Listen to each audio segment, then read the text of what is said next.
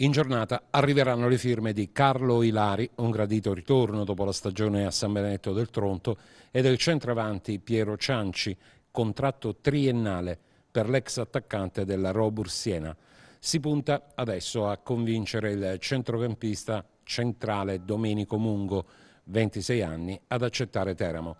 Stiamo parlando di un calciatore importantissimo per la categoria. Nelle ultime tre stagioni a Cosenza, delle quali due in Serie C, con 58 presenze complessive e 8 reti, 4 a campionato e 28 presenze nella stagione ultima nella cadetteria.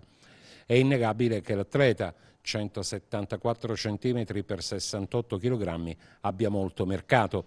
Prima dell'esperienza calabra era stato in C a Pistoia per due anni con 64 presenze equamente ripartite e ben 12 reti, 5 nella prima stagione e 7 in quella successiva. Andrea Iaconi punta a convincere il giocatore a scendere di categoria. Non sarà facile, ma neppure impossibile. Il Teramo Calcio, che sta sottoscrivendo contratti triennali come acquistasse caramelle, è stato così per Soprano, sarà così per Cianci, ha oggi una forza tale che difficilmente, almeno da questa angolazione, riuscirà ad essere o poco competitivo o poco convincente.